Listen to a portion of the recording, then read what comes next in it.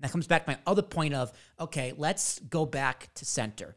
Whenever um, like if you, you speak to founders all the time who are lost, like myself, I'm still kind of lost trying to figure out what I'm doing. And um, my girlfriend asked me this question. She's like, "What do I do?" And I thought about it, and it kind of just clicked. I'm like, "You love consulting. You love speaking to people, and you love you love consulting by with people and getting consulted by people. That is your center. If you don't know what to do, go back to center. My center is podcasting. If I don't know what to do, if I am kind of lost, I'm in a rut, and I don't know like what my next career move is, I find someone to talk to on a podcast, and I keep creating content. That is my center." Um, so, how important is it for like founders and people who are kind of lost to kind of have that bedrock of a center, finding your center? Yeah, I love that premise. I think um, I can take that in a few ways, right? I think it's apps. I'll, I'll, I'll come off that like core idea. I, I agree with it, right? I think it's really important for founders to. One of the things that we guide founders through, if they haven't done it, is an exercise just around founder fits. Like, what are you um, it, you know, it could be this like ikagi, ikigai idea. It's cousins to that. It's just our version, my own version of that, where it's like, what's like going to really work for you, right? That's both going to work for what you like to do, what you're good at, what the world needs. Again, that's the ikigai model, right?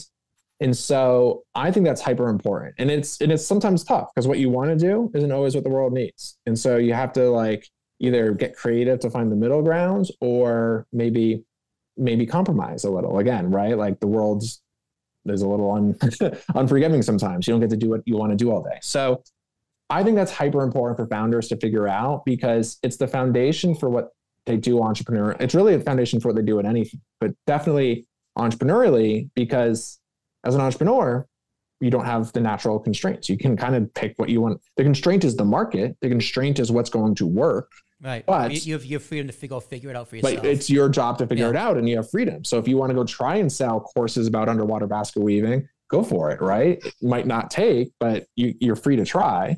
And so a lot, a lot of what we do with entrepreneurs is um, what I do with entrepreneurs. One is like to get that center. If we don't have that center, frankly, everything else is going to be a lot harder because we just don't have like a core, like there's not that core foundation. So let's get that check, right? um, that helps us just like make some easy choices. Like, do you want to build a big business or a small business? Do you want to build a huge team or a small team? Right? Do you want to? Which area do you want to build in? Like, what what skills do you have that you should lean into?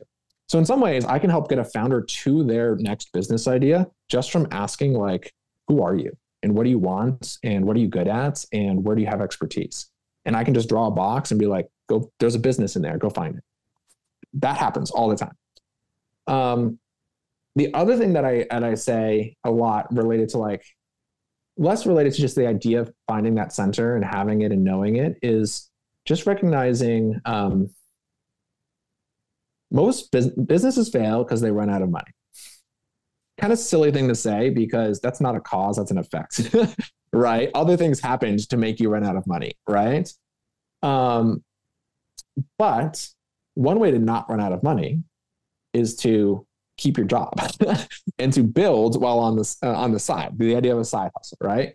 I think I don't know. I'm speaking to the audience, the world here. Everyone probably has a different conception of side hustle. i am gonna, I'm gonna pause real quick. Yeah, I I despise the term side hustle. I I I love it, but I, I, think we probably mean the same thing. You know, right? Like, but like, because there's there's no such thing as a side hustle. A side hustle is a main hustle. That the the fact that side hustle no this this podcast isn't a side hustle. Yes i have a full-time job that pays me and gets necessities but i arguably spend just enough time on this my side hustle as i do my full-time job. And with the goal being of making it my full full-time job. So, so the terms, I, terms especially today because in order for a side hustle to be successful you gotta go all in to even make a dollar so the term side hustle, I think, needs to be retired. It's a terrible term. so that's continue. a very fair premise. That's a very fair premise. I think I would love to get to the world where working while having a job is not anything less than, right? right. And we can call it what it. I think it's important to give people space and cover to say working while having a job is not bad. And it's not, you know, it, you're it's uniquely American. well, it's where where I came from. Um, in the world of venture capital, there's a little bit of a stigma where if you're not all in on your startup idea, you're not taken seriously. Right. right. So it's definitely a, there's a stigma and, and it's we're slowly unwinding it because everyone realizes that's like hyper privilege. Like you can only go into a business all in if you have a freaking trust fund, right? right. Um, or you just sold your business and you're already independently wealthy, right? So I think we're all realizing that entrepreneurship is way too big to just fit for people who can like basically play with play money, right? Yeah, who, who, who can who can play with house money, who can afford. So yeah, so it should be the de facto way of building that you keep a thing that keeps your lights on, that keeps you sustainable, that basically you can go build a business without um, without it making money for as long as it takes before it makes money.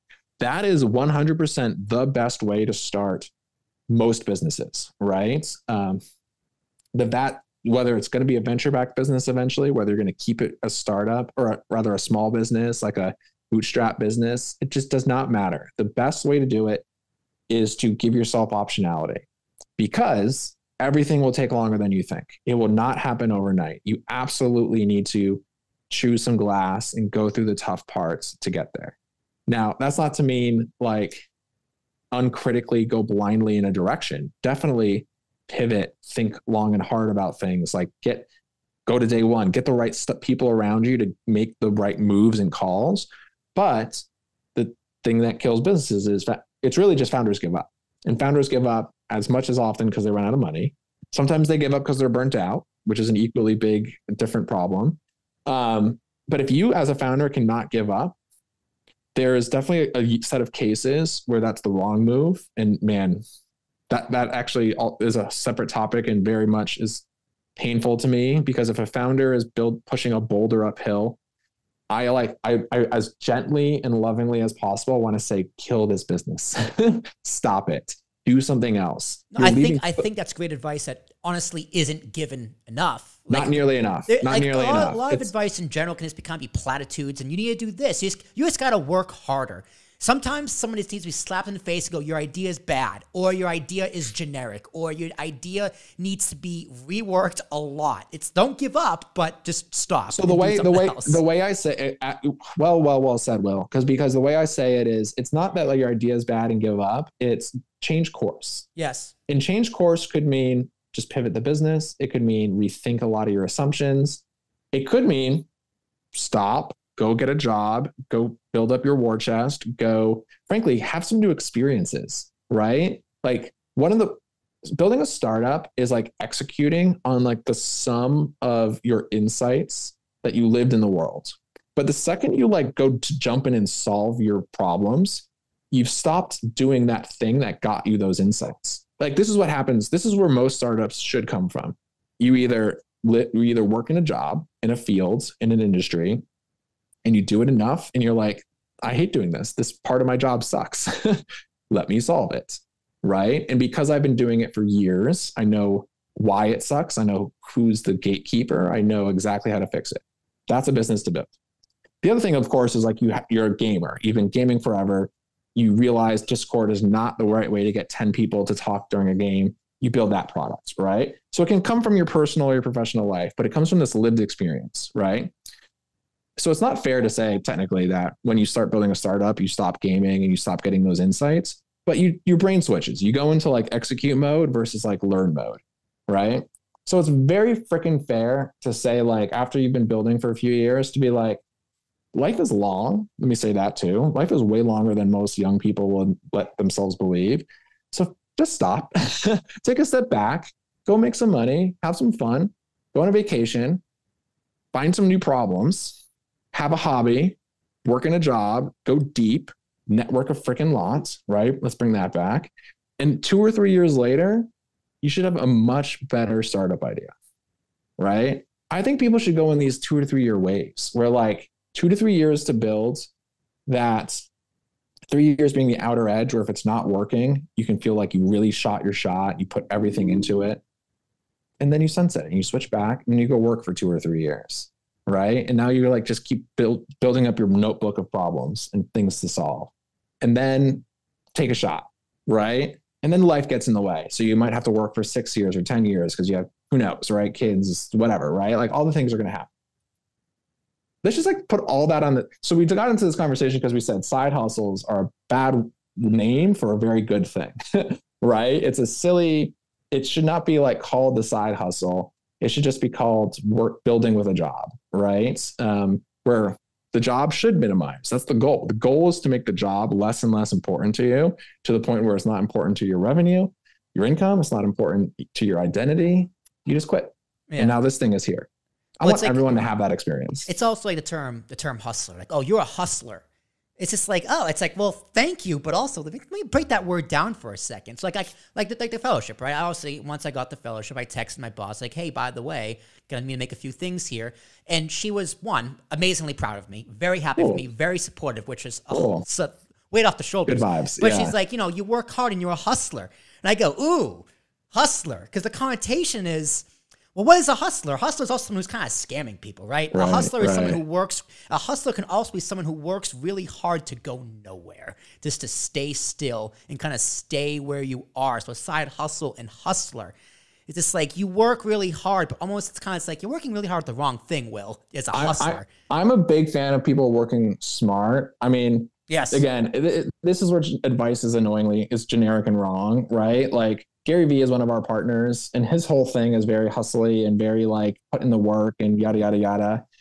And that's right for a lot of people. It's obviously right from a certain context. Like you do have to just work. You shouldn't overthink things. You should just do it, ship it, get it done. Right. That is all true, and it's gotten rolled up into the hustle culture. Um, after you've done that, or as you're doing that, you do need to figure out how to be smarter. right? And it's like, so you hustle and you go to garage sales and you flip things. At some point, you should figure out how to like only go to the garage sales that have the good stuff, right? Or upgrade from garage sales to like estate sales to like storage unit sales or whatever those are, right? Like at some point, you got to go from hustling to smart, right? And that's um again, again, a little bit of like my philosophy at day one. It's yes, you're gonna have to do this stuff. Like I said this morning, basically, this is the, a four week period to not overthink things yourself because you have a lot of other people around you to think with you and for you. So you go do a thing. All of a sudden, you have four different people giving you their perspective. And instead of overthinking it yourself, you're like, oh, I was now, now I know why that was or wasn't a good idea. Right. But, but, be, but you're just infinitely smarter and further along because other people told you, plus you just lived it and now you know how to do it again, or you do know to do it again and now you double down.